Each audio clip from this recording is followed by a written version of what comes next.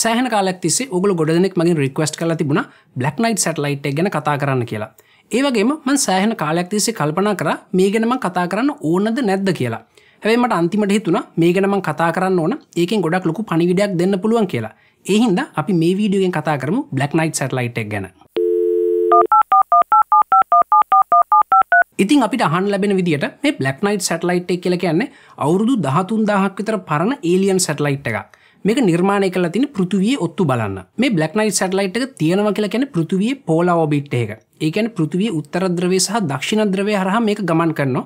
එතකොට එකට පුළුවන් මුළු පෘතිවියම ආවරණය කරන්න.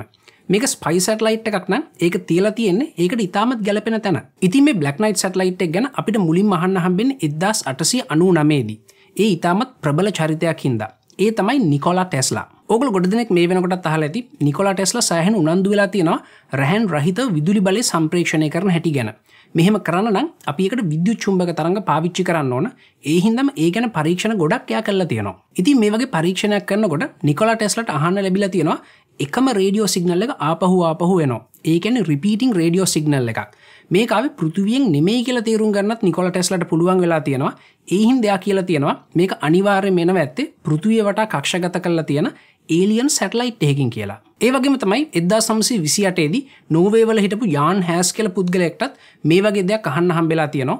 එයාට ඒ අහන්න හම්බෙලා තියෙන්නේ එය රේඩියෝ ඔපරේට කෙනෙක් හිද එදස් නම්සේ පනස් හතරදි ඩොනල් කීහෝගල පුද්ගලෙක් ප්‍රකාශයක් නිකුත් කල තිබුණා. එයාගේ ප්‍රකාශය තිබුණේ ඇමරිකාවි ගුවන් හමුදාව පිළිගත්ත කියලා මේ වගේ ඒලියන් සටලයි් දෙකක්ම පෘතුවය වට කක්ෂගත වෙලා තියෙනවා කියලා. ඕගල ගොඩනෙක් දන්න ඇති මිනිසා විසින් අභ්‍යවකාශයට ඇව පලවෙනි සැටලයිටක ස්පුට්නික් වන් ඒක ඇව් එදදාස් නමසය පනස් හතේ.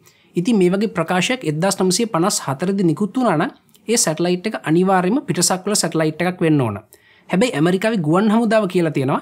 ඒවගේ ප්‍රකාශයක් ඒගුල් නිකුත් කරේ නැහැ කියලා. එදදා නමසේ හැත්තතුනදි ඩංකන් ලුනාන් කළ පුද්ගලෙක් යාන් හැස්ට අහන්න හම්බෙච සිගනල්ල එක ආපහු ඇන්ලයිස් කල බල්ල තියෙනවා. ඒක ඇන්ලයිස් කරට පස්සේ එයාට පුළුවන් වෙලා තියෙනවා මේ බ්ලක්නයිට් සටලයිට් ගෙන් ඉතාමත් නිශ්ිත විස්තරටික අපිට කියන්න. ඉති මේ පුද්ගල කියපු දිට මේ සටලයිට් අවුරුදු දහතුන් දහක් විතර පරණයි. හැබැයි එයා කියපු දිට මේ සටලයිට්ක පෘතුවිය වට නෙමේ කක්ෂගත වෙලා තියෙන්නේ. එක කක්ෂගත වෙලාදින් අපේ චන්ද්‍රය වටා. ඒ විතරක් නෙමේ එයට පුළුවන් වෙලා තියෙනවා මේ සැටලයිට් කාපු තාරකාව මොකක්ද ග්‍රහමණ්ඩලේ මොකක්ද කියෙන ගැනත් විස්තර කියන්න. හැබැයි පස්සෙ කාලෙකද මේ පුද්ගලය විසි මේ ප්‍රකාශය ඉල්ල අස්කරගෙන තියෙනවා. ඒවගේ මෙයා එකට සමාවිල්ල තියෙනවා.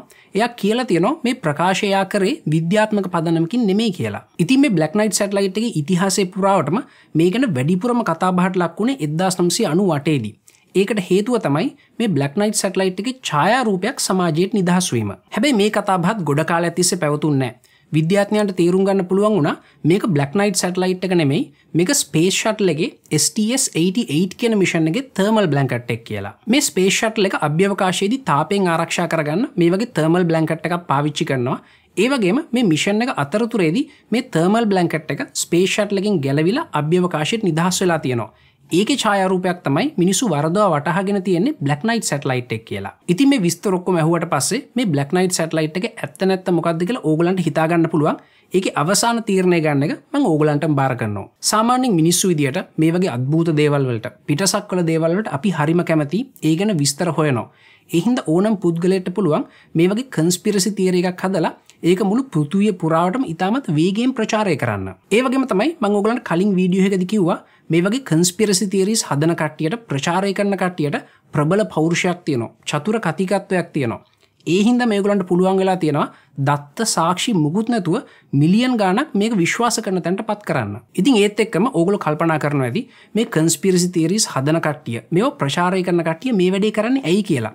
ගොඩක් වෙලාට ඒගොලු ඒ වැඩේ කරන්නේ පොතක් විකුණ ගන්න වෙබ්සයිට් එක ට්‍රෆික් එක් ගන්න ගන්න YouTube වීඩියෝක වීවස් වැඩි කරගන්න මේ හැම දෙයක්ම කල්ලා අවසානය සල්ලි හම්බ කරන්න. ඉති මෙන්න මේ කාරණාව හිද ඔගලට මොක්කරි අලුද්දයක් අහන්න හම්බුණොත් මොක්කරි අත්භූත දෙයක් අහන්න හම්බුණොත් ඒක කියන පුද්ගලගේ පෞරුෂත්වය චතුර කතිකත්වය මත පදනම් වෙලා ඔගුලු තීරණයකට එන්න එපා මුලින්ම දත්ත සහ සාක්ෂි දිහා බලන්න ඒ ඇත්තයික ඔගලන්ට හිතනවන ඒ කාරණ පිළිගන්නවාට පුළුවන් අපේ සමාජය දිහා බැලුවොත්තේම මේ වගේ කාරණ කිසිම දත්තයක් නැතුව කිසිම සාක්ෂයක් නැතු සියට සීයක්ම පිළිගන්න කට්ටියන්නවා ඒවගේ කටිය එහෙම කරන්න ගොඩක් වෙලාට මොක්කරි හැඟීම් බර කාරණාවක් හිද.